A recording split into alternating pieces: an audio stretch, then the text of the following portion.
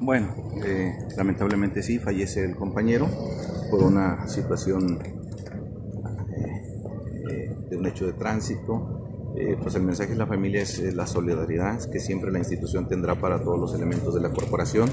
Nuestro más sentido pésame y, y sabe- sabiendo que con- fallece en cumplimiento del deber. ¿Hay policías todavía entregados hacia su Sí, trabajo? por supuesto, toda la corporación está entregada a seguir trabajando en conjunto eh, en bien de toda la sociedad. Seguir- ¿Seguirán con estas, eh, en el marco de inteligencias para seguir abatiendo el crimen organizado? Por supuesto.